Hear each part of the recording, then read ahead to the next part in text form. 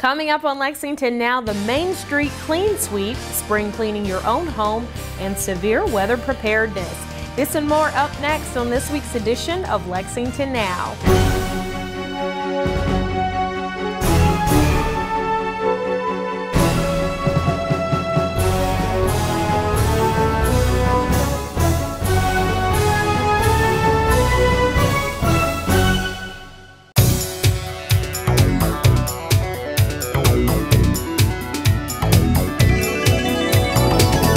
Sherelle Roberts and welcome to another edition of Lexington Now where we take a look at the news that shapes your urban county government.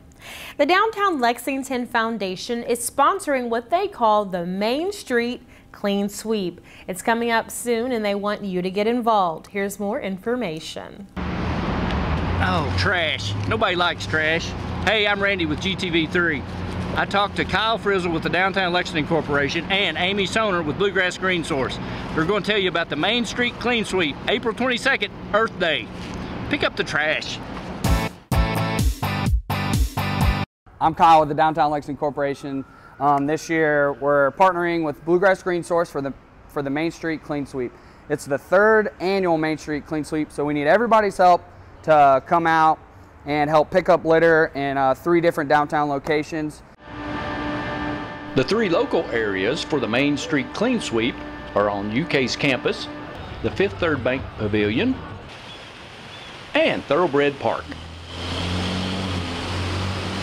So get out on Earth Day, Friday, April 22nd from 12 to 4 p.m. Um, we're asking volunteers in Lexington to get out and just help pick up litter or debris. So for more information, visit bggreensource.org or visit www.downtownlex.com and don't forget to visit us on our Facebook, Instagram, and Twitter. Tell us who you are and sure. what you do. So my name is Amy Sohner. I'm the Executive Director of Bluegrass Green Source. All right, now tell us about this Clean Sweep Day. What's going on in Lexington and, and regionally, I think you can.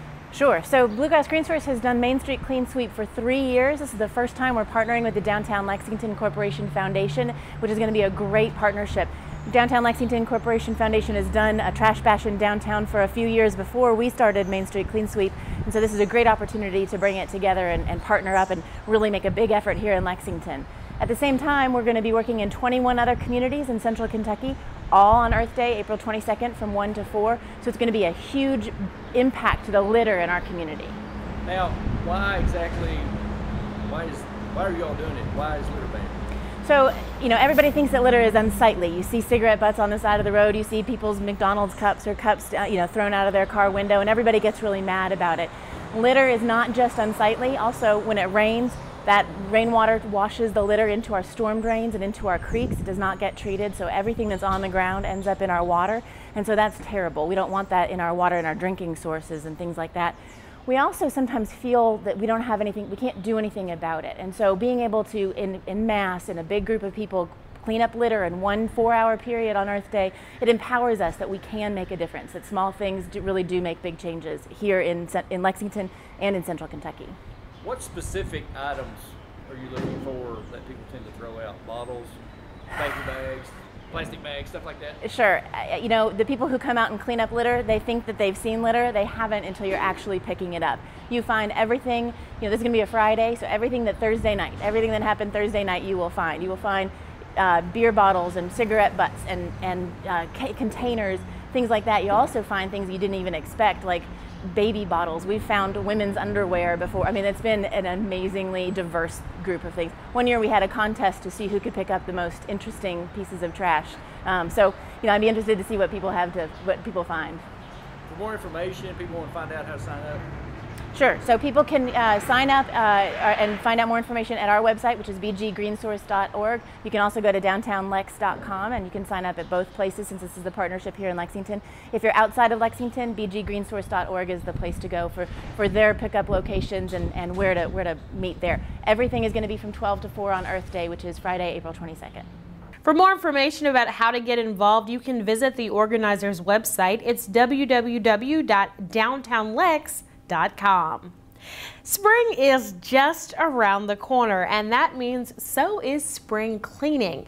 We've got some tips for you, though. The Division of Waste Management's Lauren Monahan has some information.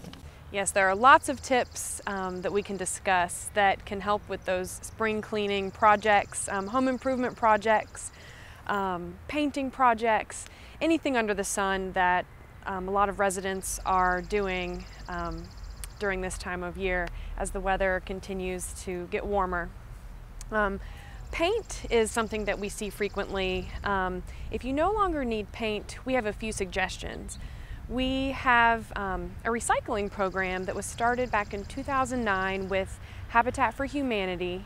Um, over at their Restore on Southland Drive, they actually accept latex paint um, in their recycling program. They take that paint, they mix it with um, different colors. Um, they've actually perfected a few different really neat colors um, with the recycled paint that they receive and so you can actually purchase that paint as well. So you can not only recycle your paint, but you can purchase recycled paint over there at the Restore. That's for paint that isn't old, dried up. Um, and so if you have paint that you are ready to get rid of, uh, we just ask that you um, take the lid off that paint can, you mix it with paint hardener, uh, kitty litter, sawdust, any of those items will help harden your paint. Stir it up, set the lid back on there, um, you can set it at the curb for our crews to take care of when they come by on your regular service day. You can also go ahead and put that bagged inside your Herbie container and um, that's also a safe way, of course, after it's been hardened.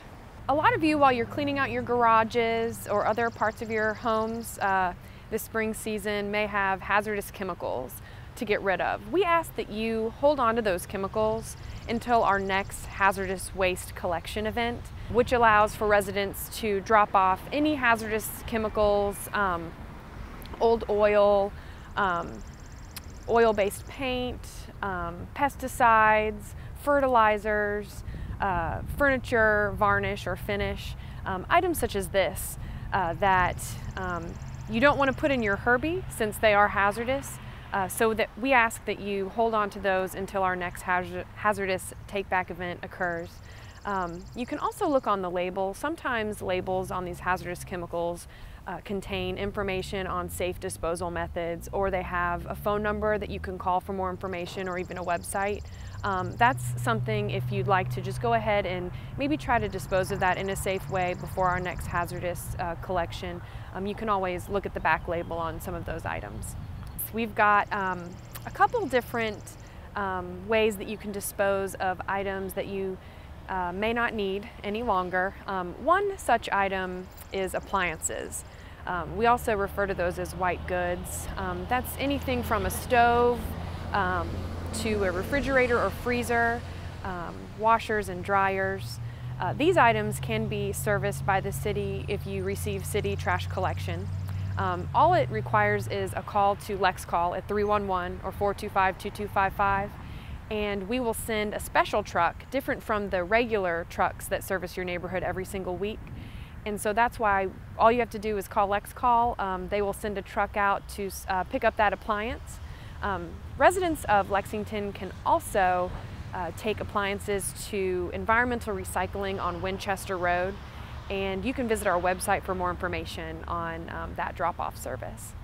As residents get outside more um, in the spring and summer seasons and begin pruning your lawns and your gardens, the Division of Waste Management offers yard waste pickup. Um, we pick up items such as leaves, uh, grass clippings, uh, tree branches. Um, so we recommend if you don't have a Lenny container, please call LexCall and request one. This is the best way to have your yard waste picked up from your location. We have yard waste routes that run through the neighborhood every single week on your regular collection day. Construction and demolition material is not serviced by the Division of Waste Management at the curb.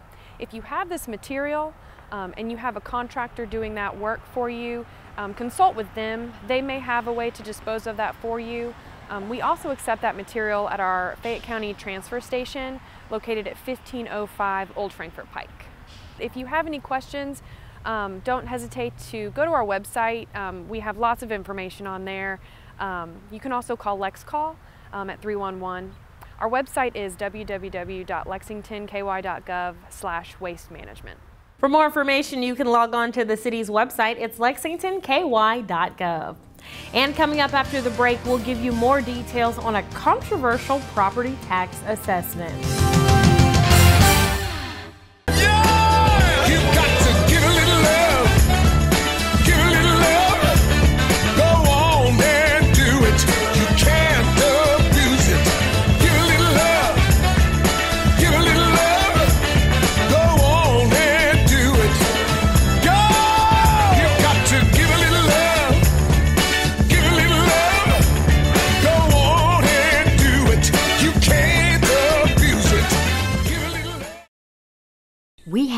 Abundance of beauty and natural resources here in the Bluegrass.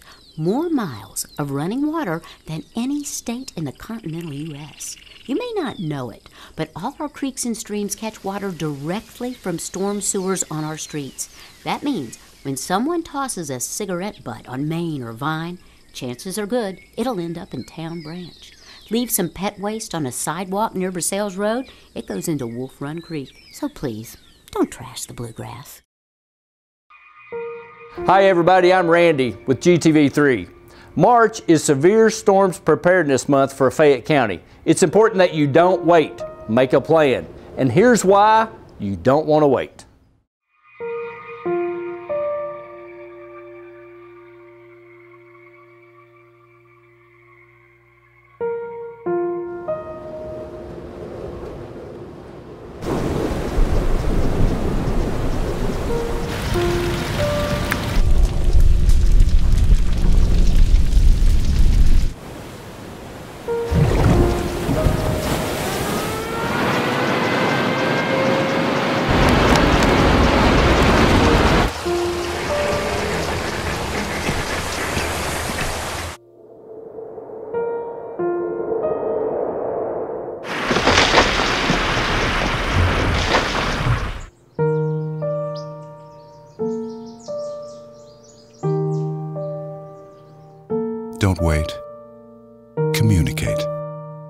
For more information, be sure and visit BeReadyLexington.com.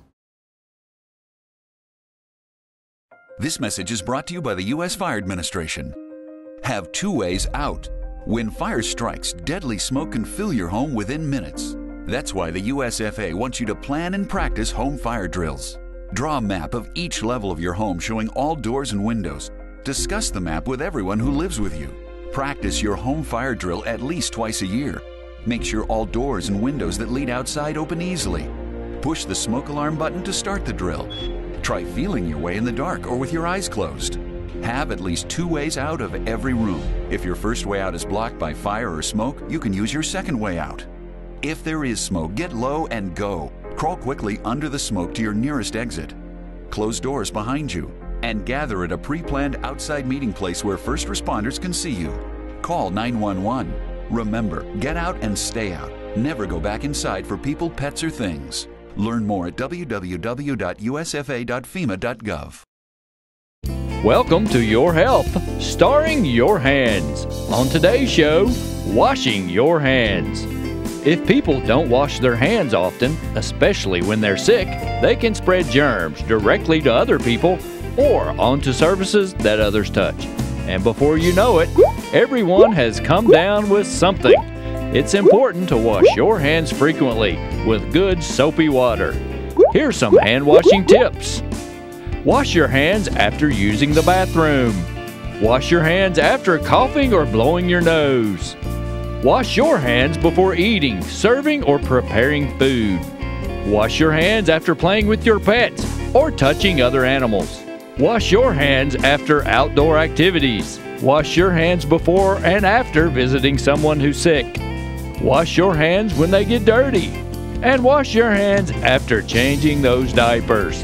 Thanks for watching Your Health, and remember, wash those hands frequently.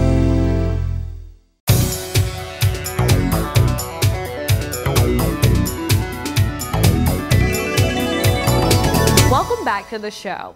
It's been somewhat of a controversial topic lately. I'm talking about how agricultural property taxes are assessed. Fayette County PVA David O'Neill offers some insight into this very hot topic. Hi, I'm David O'Neill, your Property Valuation Administrator for Fayette County. There is a state law that allows for any owner of 10 or more contiguous acres to receive what's referred to as an agricultural classification for property tax purposes, and it provides a significant decrease in property tax liability. Uh, originally, it was intended for folks who operate an actual farm or engaged in agriculture, but loopholes have uh, appeared over the years which make it available to anybody who owns 10 or more acres regardless of what they're using the land for. And obviously that's not the original intent of the law, so we are working with the legislature and the Department of Revenue to help identify and close up those loopholes so that the law only applies to folks engaged actively in agricultural pursuits or in farming. Uh, for more information, you can visit our website, fayettepva.com, where you will find links to more information. Thank you. For more information, you can visit the Fayette County PVA website. It's fayettepva.com. March is the time of the year when snowflakes turn to rain and snowstorms turn into thunderstorms and other severe weather. And this is also the time to get prepared, which is why March is Severe Weather Preparedness Month. Here's more on what you can do to get your house and your family prepared for what could be the worst.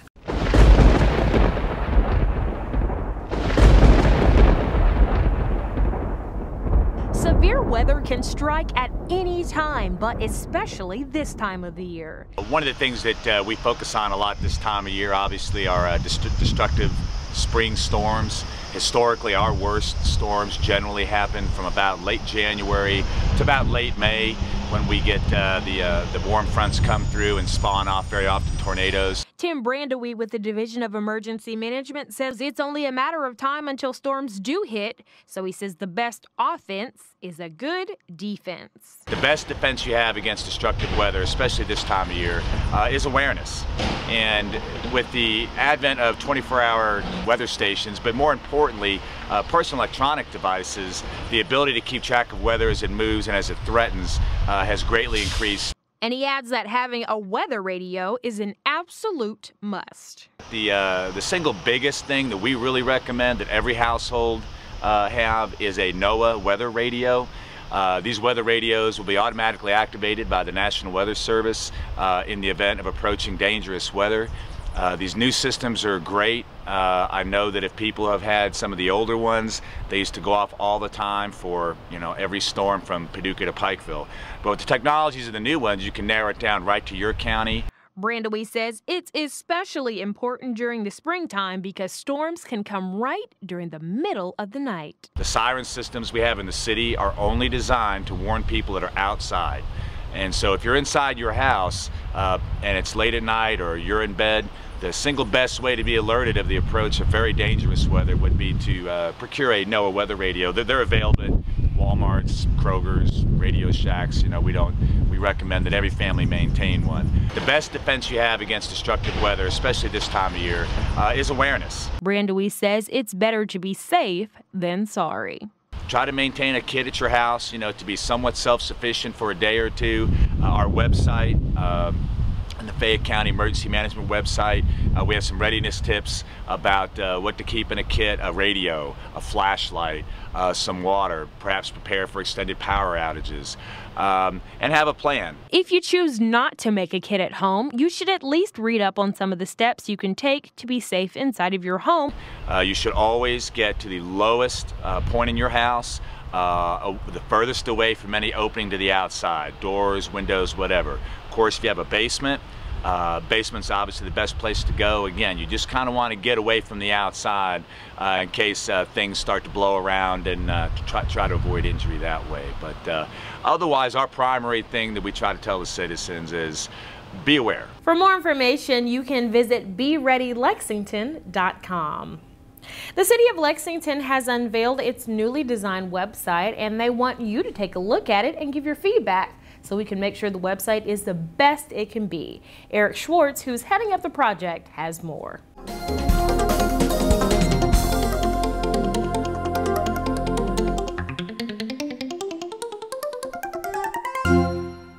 My name is Eric Schwartz. I work in the IT department Uh, I work in a, the applications group, and um, let's see, I, I, started up about a year ago after a, I was part of the actual the Code for America Fellowship that happened in 2014. So I was here in Lexington working with the mayor's office and various uh, areas around the city during that year. And then after that year was over, 2014, I actually came on board as a contractor. And so I've been here in applications group, uh, working primarily on upgrading our city website. The goal of the website really is to make it easy for people in Lexington to interact with the city online. And so uh, that means uh, making it easier to find the information that you need and sort of get on with your day because we've talked with many people in, in the city and uh, that's, that's what they usually want is they want to be able to find information quickly, um, find the forms they may need, uh, find the event that they're looking for and um, make sure that they know where it is, how to get there uh, and, and sort of move on. Um, so that's the, that's the approach that we're taking, trying to make it very much focused around what people need from the city. So we do, we have a new, we have a, an address we're using during um, the pilot phase, as we call it, and uh, we invite everyone to visit the site at next.lexingtonky.gov and uh, please give us feedback. We really uh, appreciate the effort. It helps us to make the site uh, uh, much better and improve over time. And it will be up and running for uh, three or four months as we um, collect feedback from people in Lexington and from city employees. Uh, and it gives us an opportunity to test out new things during that period. So then we transition um, the, to the lexingtonky.gov uh, um, URL uh, after that time. So during this pilot phase, the current site still is up and running at the usual place, and then uh, we, uh, we have both sites running it at the same time, and then eventually we transition to uh, the new site fully.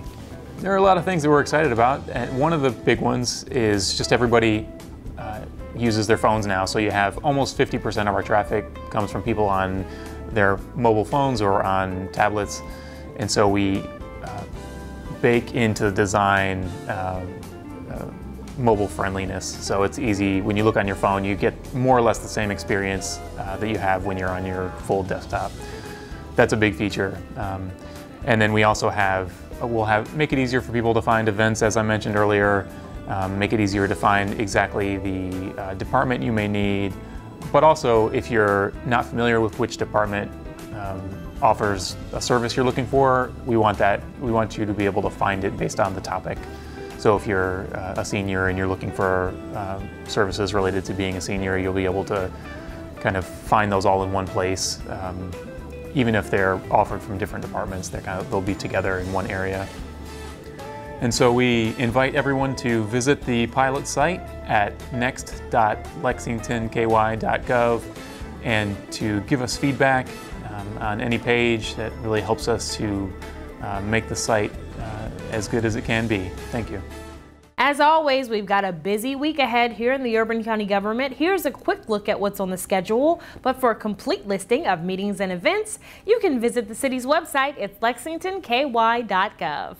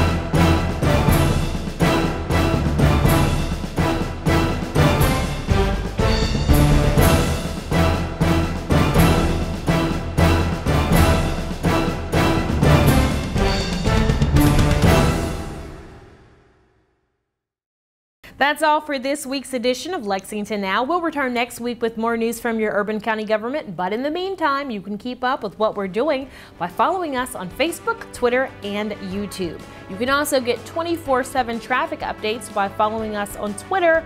Our handle is at LexRex. For the staff and producers at GTV3, I'm Sherelle Roberts, and that's it for now.